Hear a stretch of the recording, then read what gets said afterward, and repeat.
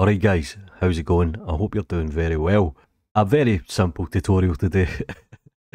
I'm going to show you how to use the baking camera inside of Octane Blender. And this is ideal if you want to bake out a texture map, uh, maybe you want to upload to Sketchfab, or maybe you're using a game engine, or maybe you want to swap these textures out and use them inside of Eevee, something like this, maybe if you're doing previs or whatever. So this very, very basic texture setup, nothing fancy, a dirt texture. I've got a little bit of scratching going on using the scratching node. Very basic. So the first thing that we really need to do is set the scene up, get the scene working correctly. So when you're baking a texture, you're always better working in the power of 2, 512, 1080, you know what I mean, 4K, 8K, whatever. So if you go to the output properties, you can set the render resolution. Now, in order to bake an object, you generally need a UV map, so this is why I'm using good old Suzanne here. She's pretty much ready to rock and roll. Now, the next thing that we need to do is we need to tell the camera, look, don't use the normal camera, change this to the baking camera. So I'll select the camera, I'll come to the data object properties for this, and you can see here Octane camera, and you can change this. There's a few options, but the one we're looking for is obviously baking. And you'll see straight away that the viewport is now showing what we're baking. And this is one of the advantages to using Octane compared to Cycles. You get much quicker real-time feedback. Uh, it's much easier to set up as well, if, if I'm being honest. So take a very quick note underneath here, the baking option, you have used it as a baking camera, baking group 1, and you have UV set 1. So you can have different UVs on the asset, so you can change this from maybe to 2 or whatever. I don't have any, I've only got one set of UVs. But the baking group ID one here is probably what you should be paying attention to because this pairs up with the object.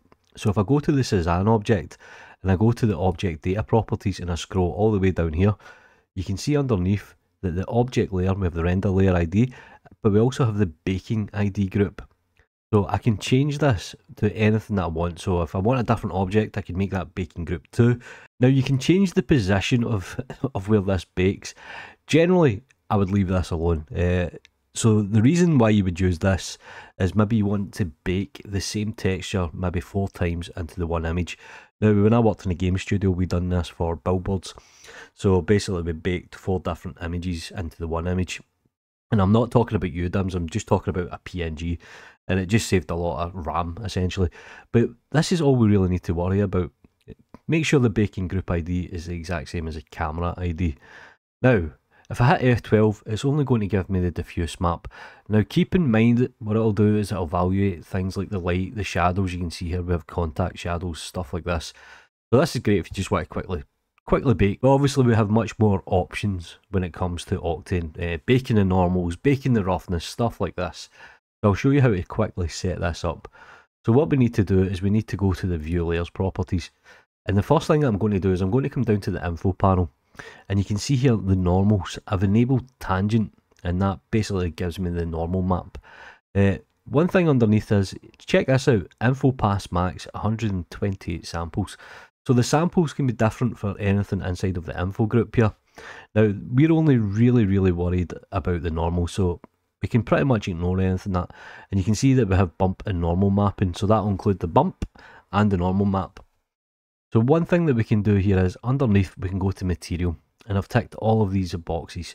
And this is what we're going to bake out. We're going to bake out the opacity, the roughness, the IOR, uh, if you're having glass or something perhaps. The diffuse, now the diffuse is just the colour or the RGB value, so there'll be no light or there'll be no specular, anything like this. Reflection, refraction and transmission. And that's us pretty much ready to rock and roll. But what I do suggest is, I'm using the classic render passes here, is we quickly save a preset. So if we add render preset, and I can call this baking camera. So it means any time that you want to bake something, you can just quickly set the preset and you're ready, just pretty much ready to go. You can use render AOVs. In fact, I probably suggest that you use render AOVs, and I can show you how to set that up in another video, but we're ready here. So I'm just going to hit F12. And that's us. I probably should have put the samples down in all honesty. So you can check out the layer passes here. We have the beauty, the normal tangent. Excellent. Now we get a normal map. Opacity will just be white to be honest. Uh, we have a roughness map. Uh, and this is a diffuse filter. So this is pretty much just the RGB colours and of course you'll get reflection and refraction uh, which technically aren't working at the moment because I don't have anything reflecting So that is pretty much the basics of baking out in Octane Blender. It's very, very simple and it's very, very quick. But let me just show you one or two more options. So for example, we can go to the camera and we can bring down the camera options here. And you can see that we have padding, so we can pad this out a little bit. Uh, this is good for hiding UV seams. You have edge noise tolerance. So this essentially means the noise around here. So generally you'll leave this at the same, but if you find that it's noisy, you can play with the values. And this is the UV region, so this is where I was saying you can actually move the position of the UV. So if you make this like 0.5 and 0.5, you can technically fit in more than one bake to the one image. It's good if you're overlaying or stuff like this. Now use baking position, I think that takes the camera position uh, from where it is. So I'm actually going to select the camera here. I'm just going to go to item and I'm going to move it just to double check. I'll refresh the view. Now, I don't know what the deal with that is, to be honest. Uh, generally, I won't use it, and backface culling's usually on anyway. So that's pretty much it. Now, one thing that you need to be aware of, if you go to the Octane properties here, uh, the image viewer will influence this map, and the same with Octane post-processing. So you can see here I've added chromatic aberration, so this will actually get baked into the map as well. So just be careful when you're baking that you actually take this into consideration. And that really is the baking camera. Now what if you just want to get a bump map or perhaps a displacement map? Uh, if you select your object, is to quickly take something like the bump map and just plug it straight into the albedo and bake that out. Uh, just keep it as a diffuse layer. In fact, if we just double check this, let's quickly jump into the render passes and what we can do is we can actually go to the diffuse filter. So that's pretty much your bump layer. So you can do that, and you can do that with displacement. It's probably not advisable, uh, but it is a kind of cheaty workaround. Let me quickly hook these values back up. Get a bit of the Hulk going on. Yeah, just keep in mind you can always check out your review pass types.